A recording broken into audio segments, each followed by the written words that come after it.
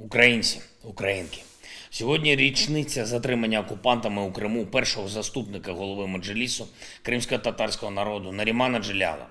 Він не скоював жодних злочинів. Єдине, чим він роздратував окупантів, це захистом свого народу і своєї країни України.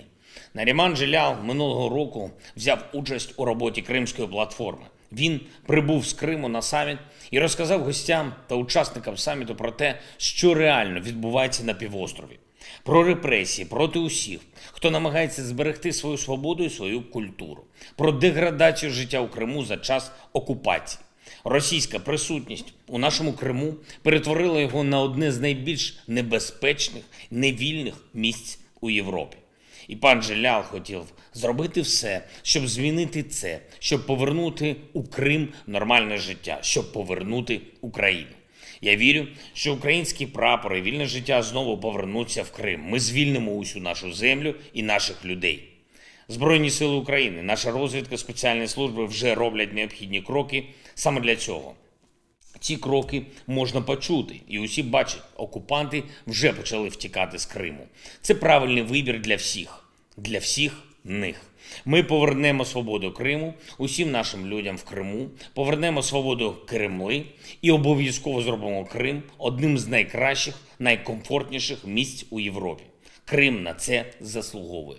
Провів сьогодні нове засідання ставки Верховного головнокомандувача. Хоч і неділя, але вихідних на війні не буває. Доповідали головнокомандувач Збройних сил, командуючий оперативних напрямків, керівник розвідки. Хороші доповіді були. І хочу подякувати сьогодні бійцям 63-го батальйону 103-ї бригади тероборони, які забезпечили результат на Донеччині. Звільнено населений пункт. 54-та бригада на напрямку Лисичанськ, Сіверськ також зробили хороші кроки, просунулись вперед, зайняли певні висоти. Хочу відзначити також 42-й окремий мотопіхотний батальйон. Завдяки його героїчним діям звільнено два населених пункта на півдні нашої держави. Дякую всім вам, хлопці. Говорив сьогодні з президенткою Європейської комісії Урсулою фон дер Ляєн. Це була, як зазвичай, дуже змістовна і дуже корисна розмова про усі аспекти наших відносин. Подякував за вже надану підтримку. Подякував також за зусилля для обмеження російських надприбутків за нафту і газ. Закликав прискорити надання фінансової допомоги нам, Україні. Обговорили нові санкційні кроки. Зокрема, вважаю, що у восьмому санкційному пакеті мають бути передбачені загальноєвропейські візові рішення щодо громадян Росії, такі, щоб ніхто з причетних до цієї війни не міг користуватись європейською гостинністю. Якщо громадяни Росії підтримують терор проти України, проти всієї Європи, якщо вони мовчки спостерігають за геноцидом в Україні, то вони не повинні мати можливість використовувати Європу для розваг і веселощів. Це важлива моральна річ. Європа це територія цінностей, а не Діснейленд для прихильників терору. І візові обмеження точно це продемонструють.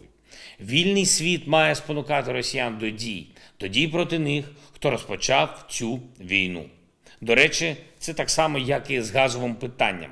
Україна неодноразово попереджала Європу, що збереження нордстрімовських зв'язків з Росією буде проблемою, яка будь-якої миті може перетворитись на катастрофу. Саме так і сталося.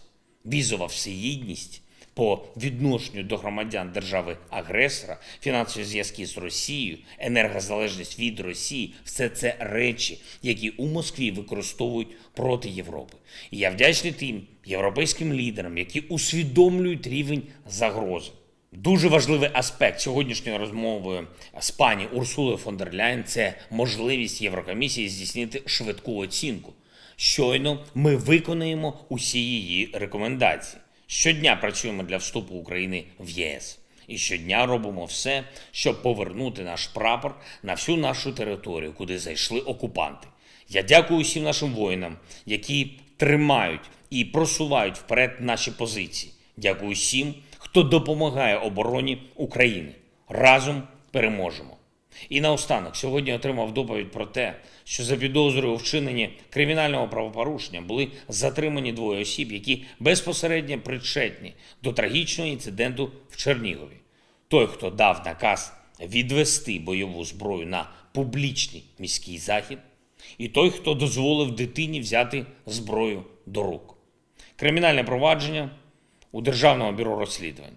Ще раз попереджаю усіх представників влади і правоохоронних органів на місцях. Пильнуйте, щоб на публічних заходах не було бойової зброї та інших небезпечних засобів. Життя людей це спільна відповідальність усіх, хто повинен гарантувати безпеку. Слава Україні!